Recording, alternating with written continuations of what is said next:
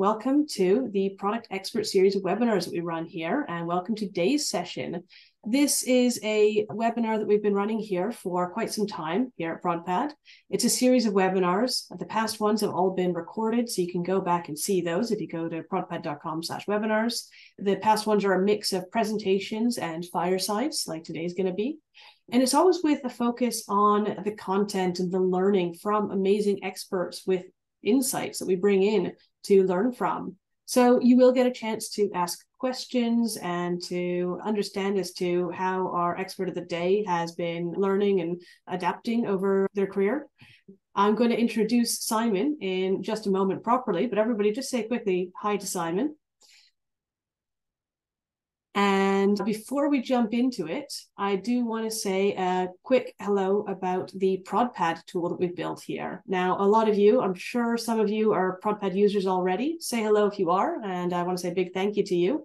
As ProdPad is a tool that helps you extract value from your backlog to make sure that you are building the right stuff, make sure that your dev team is working on the right stuff, and that everyone in your team knows why decisions are being made.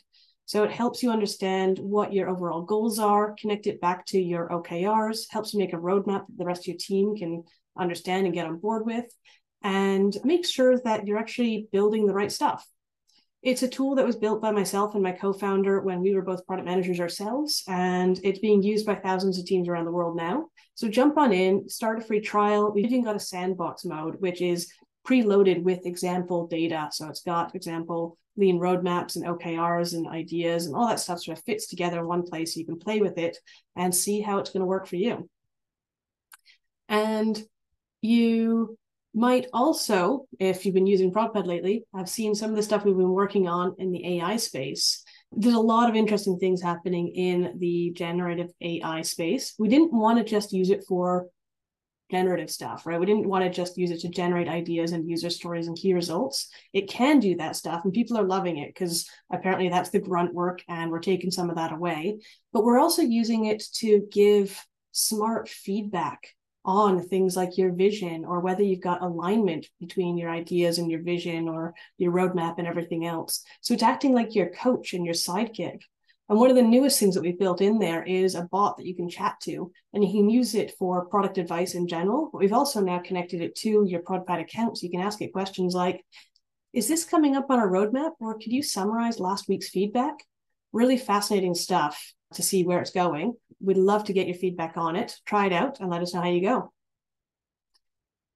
And without further ado, I'd love to introduce you to Simon Cross. Good evening, Simon. Thank you so much for joining us here today. So, I know Simon through the Mind the Product Network. He was a speaker at the Mind the, Pro- Mind the Product conference in London in 2016. He had a great talk Terrifying. about, and it just highlighted a bunch of stories from your life at that point in time when you were working at Facebook and how various product decisions were being made and how they were, how you came to those and how they were communicated. And it was called Paving the Cow Path and Other Stories about how you listened to customer feedback and basically figured out what to build based on user behavior really fascinating stuff. And I think ahead of its time, some of the points that you made in there. So today, Simon is CPO at Native Instruments, where he leads the product management, product design, and sound design teams and the overall product strategy. And before that, he'd spent 12 years at Facebook or Meta, where he worked on the developer platform, Workplace, the enterprise communications part. Thanks, everyone. Thanks you, Janna, for inviting me. And it's nice to be here. Yeah, absolutely. Great to have you here. So, do you want to give a little bit for people who aren't familiar with you? Do you want to fill in some of your background and how you got into product management? Yeah, I got into product management. A lot of people did somewhat accidentally. When I was coming up through tech and media, product management isn't a thing I knew existed. My background is in engineering, electronic engineering, and kind of my first kind of love was radio, like commercial radio, uh, you know, the BBC and like radio, that thing you listen to. That was where I really got started in in in my career.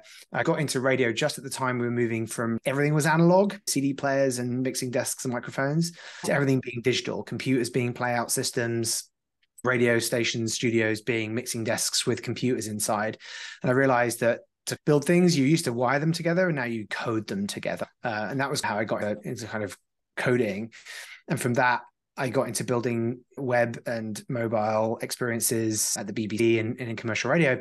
And when you start doing that, it's actually quite a clean jump from building things people are using to figuring out the things that people want.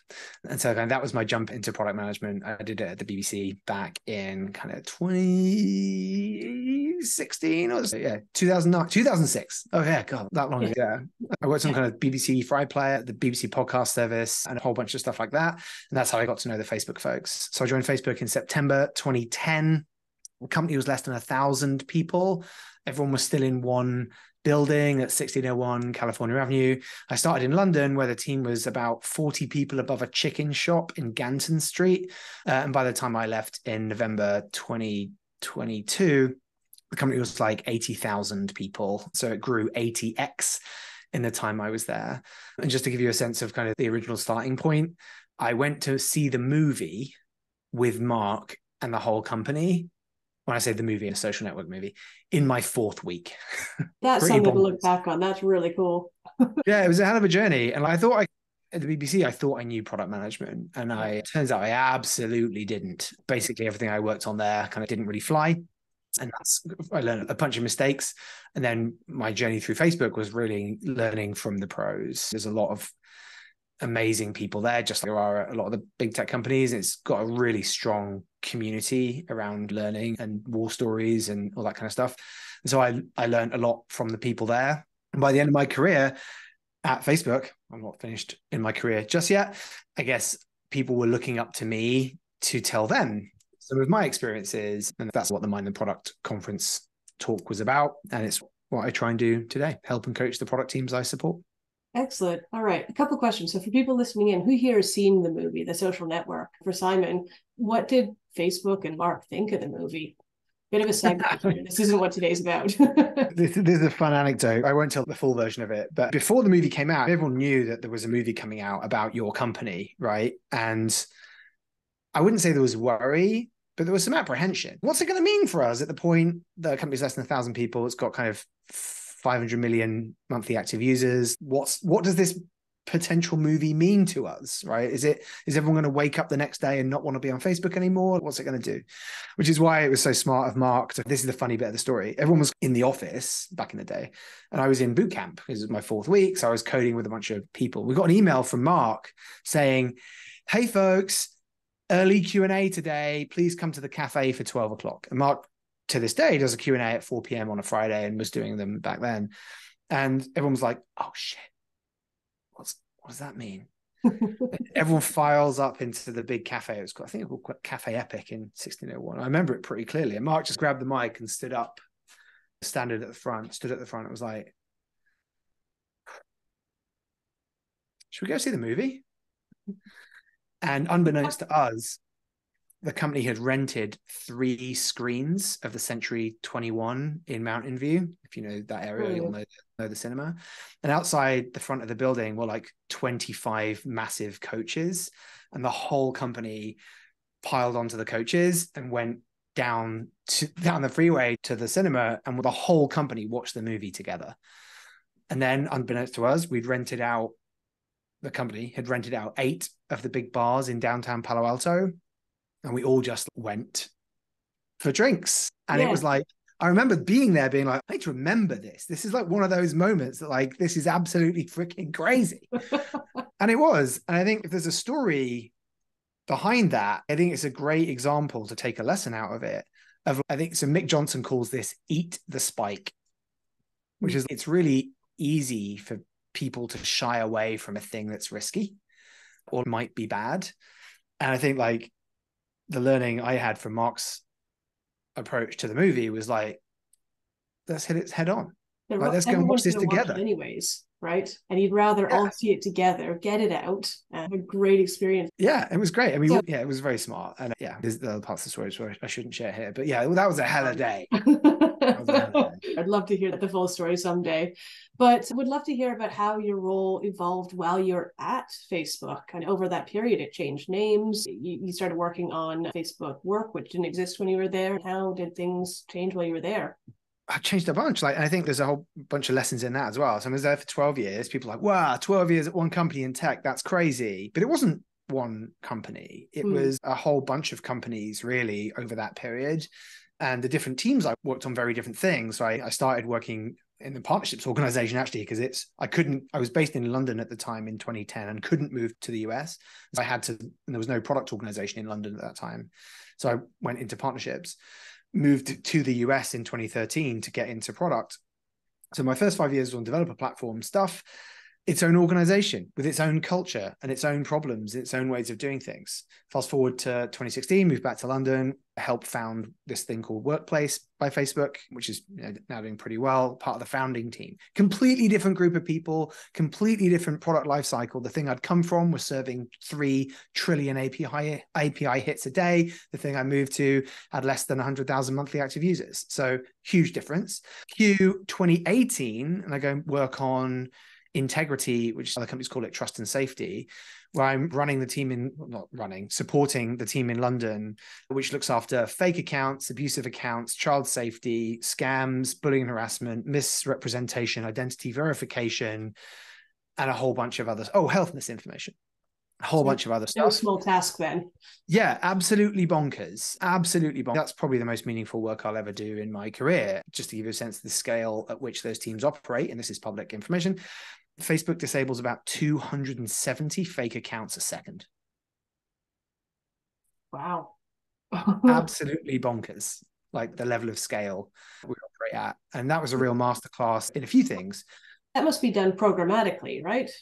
Yeah we don't have people doing that. Um, so that was a real that was a real i learned so much doing that. And many of my many of the lessons I, uh, maybe we'll talk about today in terms of extreme clarity and how to operate a product organization at scale were just forged in that environment.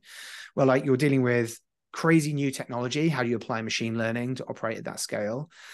And it's at the intersection of not only technology but society. What is it okay and not okay for people to say to each other on the internet. Mm. Discuss. And also how to operate in a world where everybody thinks you're doing a bad job, right? The people who want you to take down more stuff are annoyed at what you missed.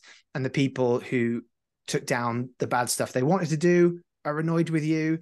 And the people who are the false positives, whose accounts or content you impacted, are annoyed at you. We had this phrase that 100% of the problem still remains.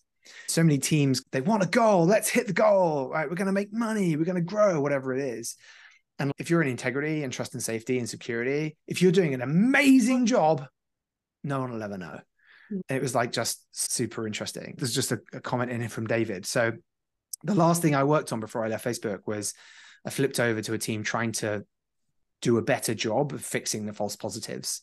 Um, occasionally, some of his innocents accidentally get accidentally disabled. Good luck getting back in. I can talk about that in some detail too. These problems are extremely challenging and much, much more complicated than than people would think. There's all kinds of crazy stuff going on. There are people, bad actors, actually trying to get your account disabled often for various reasons. It's it's a whole world. I learned so much about how to run a product organization at scale and how much clarity matters. Like when you're moving quickly and operating at scale, and you need a record often of the decisions you made and why, I think miscommunication is something that can cause teams great deals of harm. anyway, so that was like my last four years at Facebook and Meta. It was amazing. The people that do that work are freaking awesome.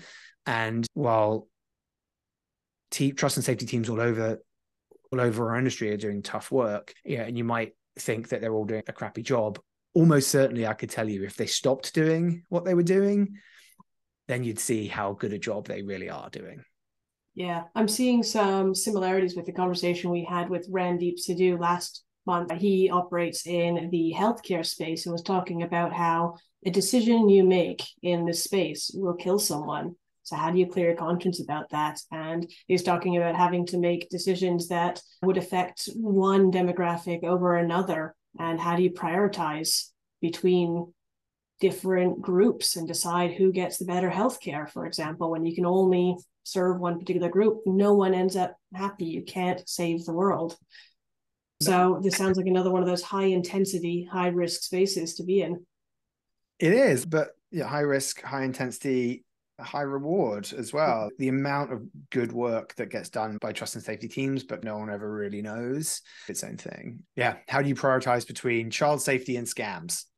Both are bad, right? like, ah, again, I think, and, and somewhat the answer is extreme clarity, like coming up with a frame. It's like any prioritization problem. It might be less savory because the things you're having to prioritize have kind of impacts beyond opportunity cost. Like, for example, if you're in a regular product job and you're trying to grow your, let's say you're trying to grow your product by 2x, right?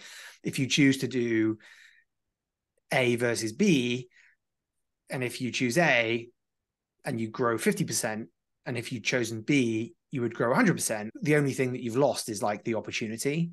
But when you're having to trade off more unsavory things and there's real downsides, yes, it gets tough. The answer is principles coming up with like defensible or at least relatively defensible frameworks that help you make those hardcore prioritization decisions. People can argue about the framework being wrong, but as long as the teams are making decisions in accordance with the framework, like at least you've set people up for success. I think that that, that approach goes for basically any product management decision you have to make. It's all about trade-offs and payoffs. And having principles allows different teams to make decisions under the same framework more autonomously than having to constantly badger for the right answer or sit there with the twiddling their thumbs, unsure as to how to act in tough situations. Yeah, so let's talk about that a little bit. It, what the ideal trade-off framework is a single metric, which is why I think teams that work on ads, for example, and inside Facebook, the, the teams that worked on ads had a thing that they the same language they could all talk about dollars, right? You can literally say feature X versus feature Y, estimate X dollars, Y dollars. X is greater than Y, let's go for X, right? And I think one of the teams that one of the things teams struggle with is team A values thing denominated in monthly active users team B values something denoted in dollars. Mm-hmm. How do you trade off? It's like trading euros versus dollars, or, or, or even happiness versus I don't know hunger. Totally different concepts, right? And I think one framework, one one thing that I've tried to do, and we try to do in my old teams, I'm trying to do more of now, is either get multiple teams to actually care about the same thing so everyone cares about MAU. Okay, great. Now we know what we're trying to drive, and we can trade this opportunity against MAU versus this opportunity against MAU. Another way of thinking about it is when there just isn't it isn't possible to make those trades. Is can you create an exchange rate? Right? Is hmm. there a way you can figure out an exchange rate? And this isn't always easy, and often people argue about it. But let me try and give you an example let's say team B cares about dollars because they like run ads, and team A cares about growth, right? Monthly active users. So this team talks about MAU as their goal. This team talks about dollars as their goal. How do they work together? If you can, for example, make a an LTV calculation or an ARPU calculation for your MAU, then you can actually begin to get close to if we add 10 monthly active users, making this up, then that's worth this much over the lifetime of the company in dollars. Now we're talking dollars. If you can try and find those trade offs, if you can try and find a, a common currency or a way to yeah, make an exchange rate between two different quantities, that can often help a team. Yeah, extreme clarity, right? What it's about finding a common about? language, right? Yeah. And it's often much harder than the idealized situation I just came up with. I can um, imagine. Because I was just thinking in the stretching that metaphor of exchange rates, using the metaphor of exchange rate, I can imagine that exchange rate would change depending on the context and what's important to the business and what a monthly active user is actually worth to the business at that point in time, depending on whether they're actually gunning for growth or gunning for something else at that point these things aren't easy. you know, users that come in from different sources. Let's you know, again, hypothetical scenario: you acquire a user in North America versus you're a, a user in South America. Typically, worth different LTVs over time just because of the GDP disparities between yeah. those countries. Yet you get all those kinds of get into those kinds of conversations. But I think if you can try and find a common currency, you can literally step one common language, step two common currency, you can literally make like data driven trade-offs because you're able to translate one into the other. I think one of the things that the growth team at Facebook does really well. There's a lot of things the growth team at Facebook do incredibly well. That's why Facebook is Facebook.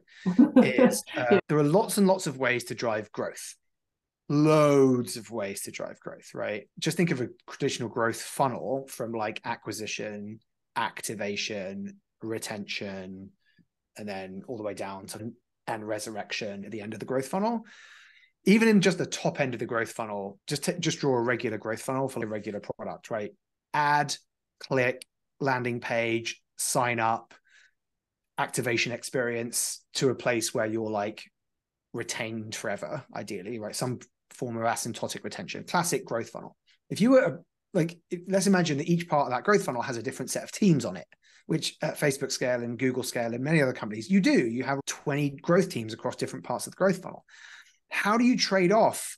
How do you evaluate whether or not an improvement to new user retention, which you might be looking at a J curve, how important is an idea there that let's say improves new user retention from 20% to 23% versus someone who might be looking about the top of the funnel, like ad clicks and stuff like that. The exchange rate they ended up working with was annualized monthly active users, annualized MAU. So each of these things, you have a formula to turn it into what does that mean for annualized MAU impact? And that meant all of these teams could start to talk about the same thing, which was like, how much is this worth to annualized MAU? That really helped a lot of teams communicate and collaborate because they had an extremely clear common currency. That's a really good way of putting it. And it's good to see how large teams like this are using these these metrics to communicate across different teams like that. This is one of the things that I see teams really struggling with, matching their pace or matching their their aims across different areas and making sure that they're they're actually communicating their shared goals. So can you share any anecdotes or any times when a lack of clear communication led to challenges? Yeah, I'm gonna I'm gonna use one that I a fun anecdote that I that I used in a, a conference talk a while back because I just think it is so powerful. And that is this idea of the Mars Mars Explorer, I think it's called. It's a NASA probe that kind of NASA put into space, and then they were waiting for it to arrive at Mars, and then it disappeared off the mm. radar, basically. And it turned out that when they looked into it, most of the probe was built by NASA, but they subcontracted the navigation system to another company, another big American aerospace company. And as a result, there was a miscommunication. NASA works in metric, and this other company works in Imperial. I think that's just a great example of where an interface between two teams, and it's often at the interfaces where things break down. Each side had made an assumption about the other. They'd made an assumption, and that assumption caused the loss of a $350 million spacecraft. So I think that's just a great example of where if you're not super clear, yeah, Mars Climate Orbiter, thanks, David Nash. Great story and just a great example, I think, of like where an inadvertent miscommunication, not even a miscommunication, just an assumption that resulted in a miscommunication caused like extremely valuable, expensive yeah. mistakes to be made. This story hurts me every time I hear it because it's such a simple one as well when you look back. And yet, when you look at how it happened, it's exactly the sort of thing that our teams are guilty of, right? Everyone has teams who are guilty of making an assumption about something and not clarifying it until the last minute. You're like, wait, I thought you were doing that part, or I thought I was going to be doing this. Oh, and like you see this all the time, all the time. Literally before this webinar, I just came from a work call where like we were having a discussion about something, uh, and someone said, "Oh, oh yeah, we should really look into that." And two problems with the statement we should really look into that is who's we and what do we mean by should yeah right? and like okay cool like you, you, someone could go away and I think did go away from that conversation, say, "Oh yeah, we should really look into that," and now no idea who's doing what. That is the language of someone absolving themselves from doing it and just hoping someone else is going to pick it up. And you were right to call it, going, what is actually going to happen here? What are the next steps? So yeah, what and it goes down to this is going this is going to make me sound like a real pedant, but I tell you what, this kind of thinking has saved my ass a, a hundred times, right? Yeah. Just okay, I'll someone says, okay, I'll take that action, yeah, I'll take that away. Okay, great. So we've got a person doing a thing. Did we align on what the output or outcome is of the action they took and when they're going to deliver it? And yeah. you could say, I'll just give you another crazy example. I work on I've worked a lot on teams that span time zones. My team yeah. right now, a lot of them are in Berlin, a lot of them are in Boston, plus one hour, minus five hours. Mm, at Facebook, obviously minus eight often. So you say things like, "Oh yeah, I'll get that to you by by the end of the day." Okay, great. End of the day, cool. But like, is that midnight? Is that five? Yeah, is that is that mid is that midnight? Where which time zone? like, which time zone? Yeah, yeah. And it can sound a bit pedantic, and like there are there are times where it's not worth the kind of weirdness of going to that level of detail. But, but for a lot of things, it really is. If I need something by the end of day today, so that I can read it in time for a nine a.m. meeting, then you giving it to me at ten a.m. tomorrow ain't gonna fly, right? And I think often when I've pushed for kind of clarity on something. So go, oh no, I oh I can't do it by then. You're like, I thought that's what you said. and like again, you can zoom right in to 30 minute one-on-one and having those or, or small team meeting those like detailed action points. You zoom all the way out to a team that's relying on another team to build them a thing that is required for their success. I thought you wanted X. Oh no, we wanted Y. Okay, we didn't we weren't extremely clear yeah. with each other about what we were expecting from each other and by when. I think the reason this is so important in large organizations or organizations where there's a lot of moving pieces is the cost of getting it wrong can be serious, right? Let's say, um, um, a hypothetical example, team one, team A and team B need to collaborate on something over a quarter. They get to the end of the quarter and like the thing doesn't work because like they didn't match up okay, now we've got to plan and do it all again. So it's three months late, right? Again, somewhat a, a, a, an extreme example, but there's a cost to fixing these mistakes, right? That's a cost. Yeah, the quarterly thing is absolutely true. The fact is that teams start at the beginning of the quarter. They say, this is what we're going to do. And then they regroup at the end of the quarter saying, great, how did we do on our OKRs? And they all went off and they did different things. and then yeah, I mean, every I mean, quarter. There's a lot of kind of controlling for outcomes scenarios here, right? So someone's just said in the chat, like a QA mindset. Yeah, the old Reagan doctrine of trust but verify, check-ins along the way, all of that good stuff, right? Maybe um, someone could enlighten me. What do we mean by QA mindset? So is that having a testing mindset, like thinking about? I'm assuming so from that, like you you're testing along the way. Uh, yeah between now and the thing that we agreed to meet on what can we do to make sure that the thing that the other team is doing is serving the needs as we go right there's loads yeah. of classic product management and project management techniques for that i think an interesting approach to this in technical teams that i've seen work when you think about extreme clarity which is the kind of the, the, the communication thing we're talking about here one thing i've worked well is things often break at the interfaces between teams, between people, between products, between technologies. The interfaces, which are often the thing. And so when I've been working with more technical teams, one of the techniques that I've seen work well is define the interface first. Like, how is this thing going to actually work? How it, how the inter, all of the stuff before and after, we'll figure that out later. But the let's design the interface which could be down to the specific way the API call works or the URL format or whatever it is from a technical perspective.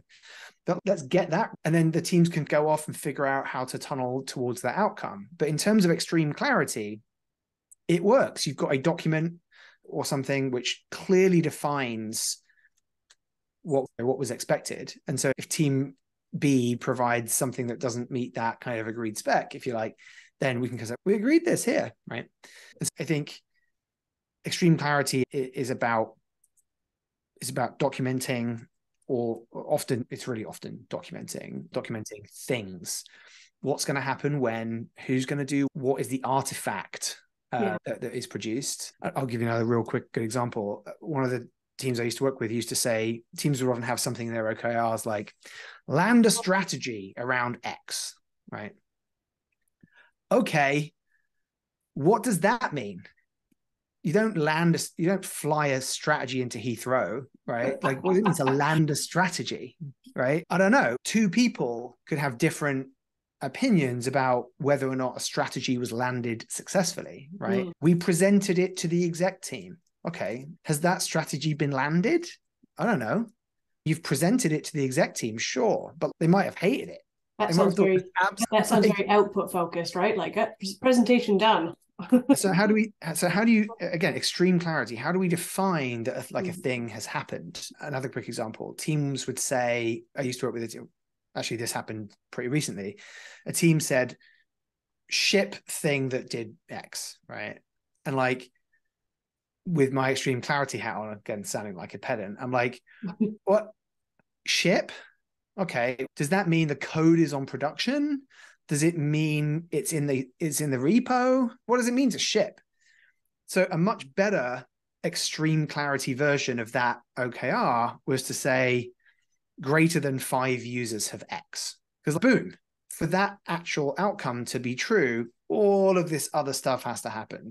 Yes, it has to be on production. Yes, it has to be something that's visible so that enough people have done the thing. I think that's just extremely, it's much more extremely clear. I've seen, yeah, I think that level of clarity is might seem like pedantry, but actually it really helps. I think you're right. A lot of good product management is about being pedantic about things. Look at the language that we use around experimentation. It's about being highly specific about what the hypothesis is and what the outcomes are and how you're going to measure it. You've got to be really specific about it. And you've got to communicate that up front before you get started, before you even begin thinking about cracking code. And then at the end of it, you write it up and say, okay, this is what we expected it did, and this is what it did do But it's the art of pedantry and it works, right? And this is why teams who are very experimentation minded do because they're able to communicate before they start what they're planning on getting out of it. Yeah, I think that's absolutely true. So, are there any rituals or favorite questions or tactics that you employ to uh, get points across or pull points out of people in in your teams? So, uh, there's a bunch of like very general questions that I like to ask that kind of force the right discussion. One of them is like, how do you know if you've been successful? Hmm. It's just such a real basic question, but like, how do you know if you've been successful? And they'll often give you an answer which isn't clear enough, or just asking the question makes people realize that there's a definition of success that they haven't thought about mm-hmm. yet. Right. So I think like that works in terms of techniques for helping a team up or a team or a person up level their communication so one of the things that i've done that's worked successfully is again this is going to sound like a little bit of pedantry and some of the pms that have worked with me before might remember these times but again back at facebook when we're writing communications to senior leadership the quality of the writing is really important. You've got to remember that your execs or your senior people your email is like 15 to 30 seconds of their day maybe. And the thing you're writing about is to them a narrow part of this much bigger picture. I think one of the things i learned by watching some of the best people the most senior people at facebook is how good they were at that level of communication when i tried to think about what it was, it was they were really good at distilling something complicated down to like its absolute essentials and leaving no room for maneuver in interpretation and a bunch of the PMs I used to work with just weren't good enough at that. I have a blog post about this that has an example on it. And one of the things I used to do with the PMs of mine that needed some help is like, okay, number one, just put your email into a Google Doc and then we'll sit through it together. And a sub editor at a newspaper, like literally go through it and read it with an out, outside external mindset and just go through it line by line and be like, what about what did you mean there? What did you mean there? Did you mean this or that? And that exercise they begin to learn just as I did. I had to learn this stuff, right? They mm. begin to learn what are the common things that they wrote down which made sense to them because of their context that with that somebody outside of the contextual space it just didn't make any sense to. So going through that process a few times, those PM, the first time I found kind of 15 things that I didn't understand. And the next time it would be one or two. And boom, after that, they're like, okay, I know how to write like this now. I think again, communication like this, when you're communicating to people outside your contextual space, particularly across time zones, like when if they have a question and you're asleep, that's bad. right like, just think about it like um if, if, think about this in kind of internet if like there's a 100 milliseconds between the request and the response well if you may need to make 10 requests and 10 responses 10 times 100 milliseconds. But if that is a second and you have to make 10 of them, it's a lot worse, right? A lot worse. And when you're working across time zones or with across asynchronous teams who may not be working at the same time, then if you've got a miscommunication or a mistake in communication, it can really hurt you. And if you can avoid that because you communicated clearly and crisply the first time, then you actually save yourself, honestly, sometimes days, weeks.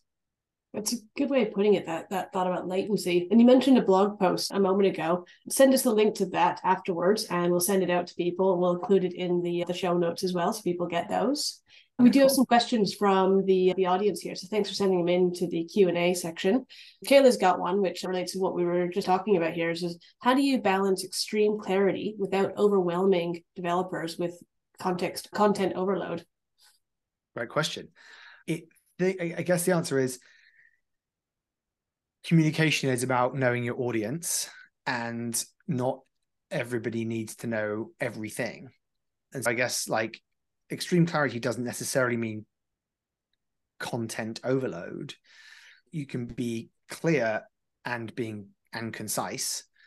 And often thinking about audio as a signal processing kind of analogy here, it's about which things do you need to communicate to that audience. If you communicated everything to every audience, everybody would be overloaded. But like when you're communicating up, you need to understand what your the receiver wants and needs to know. If you're computing sideways, it might be a different set of things. So I think clarity, extreme clarity isn't about trying to over, overload people. It's about trying to reduce ambiguity, right? It's about trying to communicate in a way that two people don't have you know have a different understanding of what's being said. So yeah, I think it's about your audience versus yeah knowing your audience and communicating what you think they need to know. Yeah. All right. Good stuff. And there were a couple of questions here that related back to the the currency that you were talking about. Tom asked, when you try to create a common currency, how do you stop people trying to game the system? God damn it! Yes. Everybody games the system. Smart people, their job. Yeah, you think about man, especially in a large company or where you've got lots of teams with different incentives they are going to game the system. Like that in, in, fact that's their job right? Their job is to succeed within the constraints set by them. It's like a game. So the answer is like guardrails is the short answer right? Guardrails. So what is the set of things that you, you're going to do x? What is the set of things that will prevent you doing x without breaking y mm. i can give a very clear example of this actually so the one of the teams i worked on at Facebook, their job was to reduce harm, right? But one of the challenges when you're reducing harm is the scale of your false positives, right? At the limit, you could take down every single piece of content on Facebook. Yay, no harm anymore. Yeah. You'd have caught all of the scams, you'd have caught all of the porn. But I, I think we can all agree that's a bad idea. So then your question is, what's your guardrail? What's the thing that stops you doing that? And so teams like this often take goals or countermetrics on things like false positive rate. So, for example, you can increase your recall as much. As your goal is in, in integrity teams is to increase your recall, take us down as much bad stuff as you can.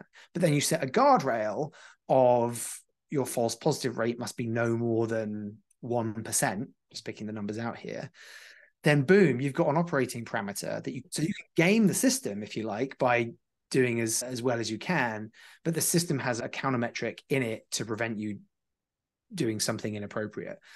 So I think like gaming the system is that's one answer to it.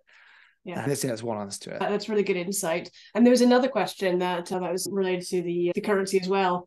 L asked, how does annualized MAU monthly active users interact with must do tech debt type projects? Does the yeah, currency still work that? So first of all, I'm doing it wrong. I'm not suggesting that annualized MAU should be the common currency for every project, right? It's just an example. But the general question goes, which is, I think, if a, if your team or your business or your product cares about X, whatever metric X is, then how do you handle things like tech debt projects? So there's a couple of ways to cut this. The first is, I think often tech debt projects are have measurable business impact in ways that people don't often realize. So, for example, one of the things I worked on a while back was like web page performance for mm-hmm. something because our web pages were slow. And initially, the team were framing that as we just need to get uh, just websites just too low, too slow. We just need to speed it up. Like we have all this tech debt we need to do to speed it up. We need to get rid of all this stuff. We need to refactor this, that, and the other turns out that making your web pages faster is good for business.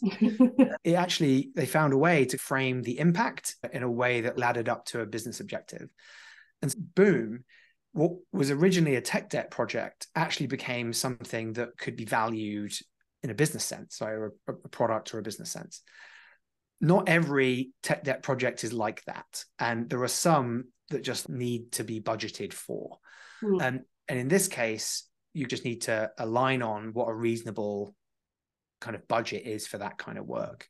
Facebook, they had this thing called better engineering, and they would reserve kind of 10 to 15% of every team's roadmap for better engineering work. It just wasn't a question. It was just like, we've agreed that we're going to budget this amount for this kind of stuff, and we're going to go do it. Because not every everything is accountable, is translatable into kind of a into a common currency like that. Although I would argue that there are ways of translating it into things that are important to the business. People often think that tech debt is just the domain of the CTO or the tech team and it's their problem and they're left to it. But ultimately, it's good for business in a lot of ways. Not only does a faster web page mean that people can actually get their jobs done faster and therefore you get more activity and more sales or whatever you're trying to get, but also, reducing tech debt means that your developers are able to work that much faster. They're less likely to quit their jobs because the code sucks, right? Like how you don't have to through the whole thing in every two years, like your competitors are. So you're able to move faster. 100%. things that companies aren't paying attention to. They're very short sighted, but if you can make those arguments, then it can take you a long way. Yeah. So actually, so let's zoom in. Let's imagine you're a technical project or product manager and you say, oh, imagine this hypothetical thing. Our CEO, CTO says we have 20% of our budget time to spend on better engineering projects. That's what you need to do. You need to prioritize them, right? Yeah. So team A is doing wants to do person A comes up with better engineering project X, team person B comes up with better engineering project Y. And like one might be refactor this spaghetti piece of code, this one might be upgrade to the latest API, whatever it is. And like how do you trade off those things? Guess what? Maybe mm. you need a common currency. So, more technical common currencies might things be like CPU load or page load speed or latency or some other kind of technical thing. And again, one of the things I worked on at Facebook was a period where we were working on efficiency efficiency of our systems because they were costing a lot of money to build and maintain, and that was preventing us working on new things because there are real constraints when you're operating at that scale. And we found a common currency for how to judge multiple types of efficiency work.